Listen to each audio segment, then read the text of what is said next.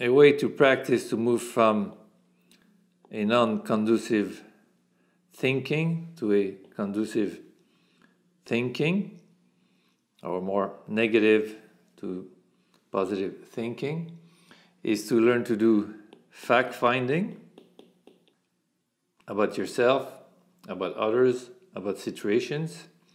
So, therefore, not just being arbitrary, but more fact based, is to learn to do uh, analysis and reflecting, to be objective, so as balanced and less biased.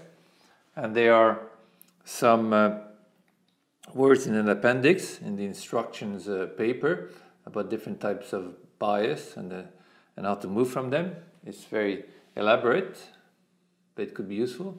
And to use the proper imagery that would let you be more, again, objective or using more positive and constructive thinking. So learn to be constructive. And as much as possible, put perspective in your type of thinking. So broad, broad type of thinking.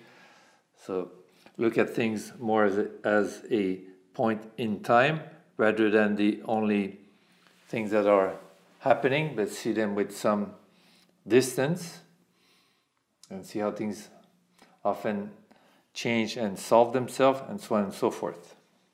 Another technique that can be useful is after you've done the practice and chosen techniques for the emotion dimension, the thought dimension, is to see how you experience specific moments, especially, let's say, a difficult moment that you've had in any situation, and look at it from two dimensions the one of emotion and the one of thought, whereby you may be using a conducive type of emotion, sometimes called positive emotion, or a non conducive to happiness type of emotion, sometimes called negative emotion, versus a conducive type of thought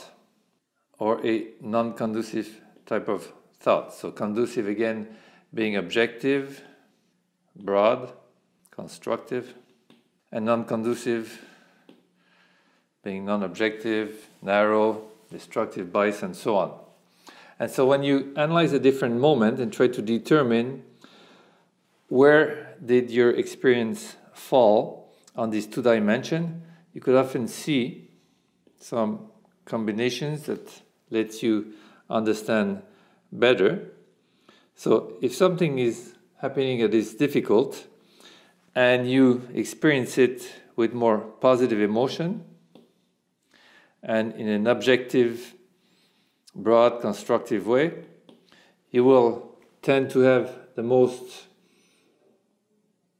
positive or the experience that this makes it the easiest to cope with whatever situation.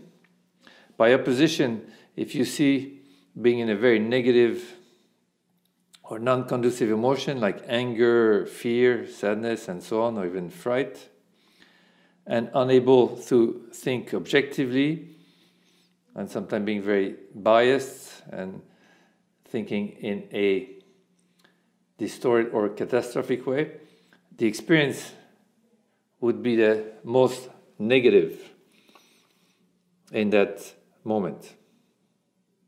On the other hand, you might think very constructively,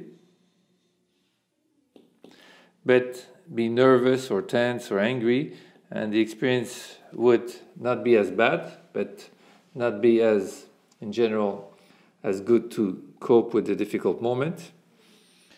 Likewise, you may be calm but very biased, so your experience could be somewhat positive but also very negative, and also not the best state to cope with any difficult uh, moment. So surely it's always the most conducive overall, combining emotions and thoughts, to be in a positive emotion, calm or even joy or even confidence, uh, and thinking the very logically and objectively. So from any other state is to try, try to move from these combination to this combination.